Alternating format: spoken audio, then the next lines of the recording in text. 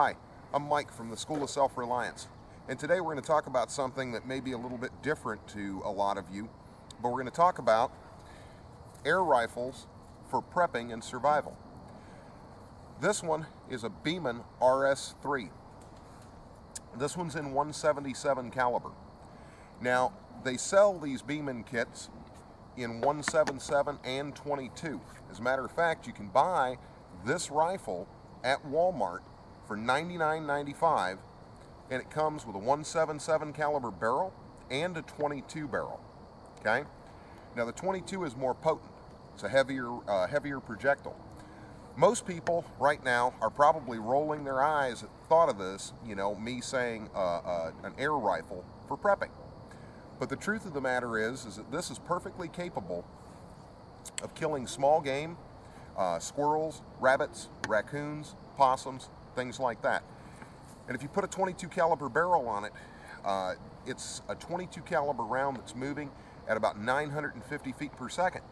That is perfectly capable of killing a coyote or a feral hog, and if you search on YouTube, you will find Gamo videos and videos from other manufacturers of them killing hogs at 35 to 65 yards with a 22 caliber pellet gun. And this is not a child's toy pellet gun, not even close. This will push this pellet at near 1300 feet per second. And we're going to show you a little bit of penetration and things like that in just a second. One of the other things about having one of these air rifles is right now there's a real shortage of 22 caliber ammunition. And I would virtually always rather recommend a 22 rifle to somebody for small game hunting. But 22 ammunition's become all but unobtainium here lately. You go to the stores, it's just not available in most places. And this is quieter than a 22 caliber rifle. It's a lot quieter. So if you're in a situation of escape and evasion, you know, uh, shit hit the fan, you know, situation X, you, you know, whatever it is without rule of law, um, you're probably trying to hide from people. This is a lot quieter. Bow and arrow also works really well, but this is a 250 count of Crosman pellets, hunting pellets, and this is about five bucks, okay, for 250 rounds of ammo. This is a Gamo ammunition, about 175 rounds of it, and it costs about five bucks. And you can carry a whole lot of ammunition in a very small space. There's 350 rounds of ammunition, or excuse me, 370, wait a minute, 300, um, 425 rounds of ammunition in a very, very small space.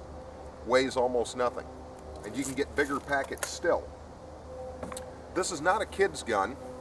It actually takes quite a little bit of effort to cock this gun. It's nearly 40 pounds of cocking effort. And then, to load it,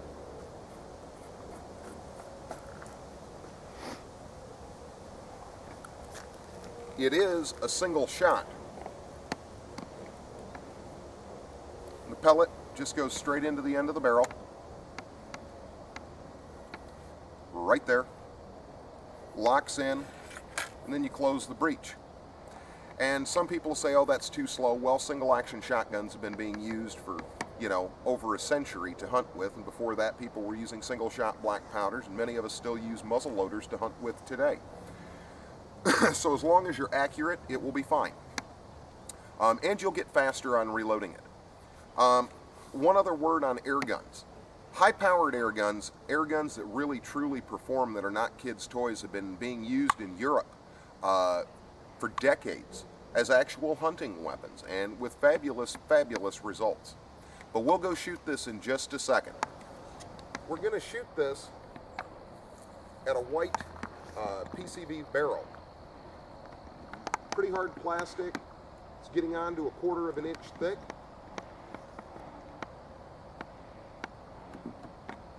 This is a distance of right about 25 feet. This gun also has a safety that comes on automatically. It's right there. It comes on automatically when you cock it. Right here is our impact point. If we look inside, There's where our pellet came through and went all the way through. And it actually caused a small uh, deformation in the other side, but it did not penetrate. As you can tell, I've shot it a couple of other times here, so I already knew it was going to blast right through. But that is more than sufficient to go right into the skull of a small animal, uh, like a squirrel, a coon, possum, something like that. We'll go ahead and we'll shoot this a couple more times with a couple other types of pellets.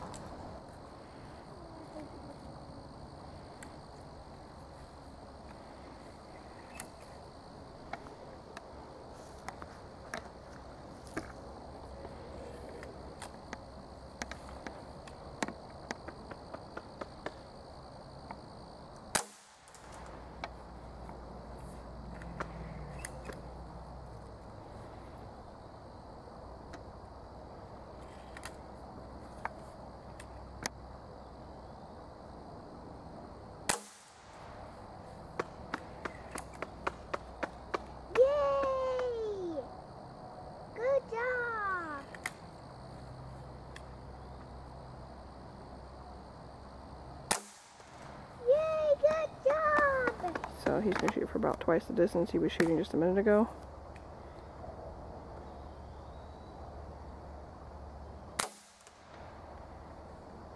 That was some what? What? See? What? And bounce. Yeah.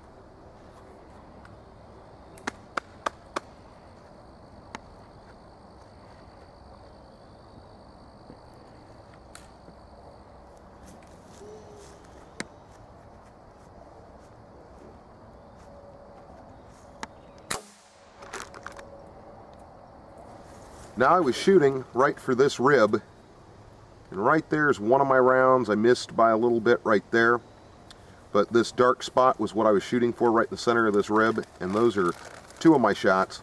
And as you can see, at a distance of 50 feet, they still came right through. No trouble at all. So easily capable of killing small game. Okay, he's shooting from 80 feet again. Gonna try and hit this beer can. And he nailed it. Awesome.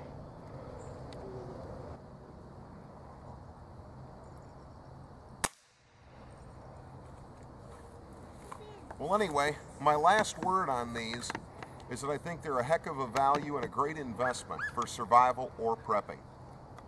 You can use these with your kids, get your family involved in shooting uh, and outdoor activities. It's also pretty safe for the little guys to learn to shoot with and hunt with.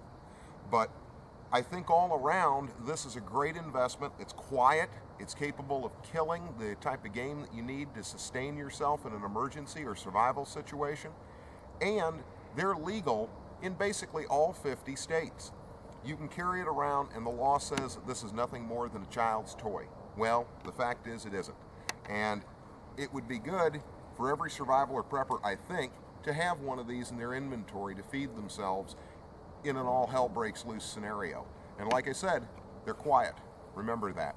Again, I'm Mike with the School of Self-Reliance. If you like what we do, like us on Facebook, watch our videos, share our videos. Thanks for watching.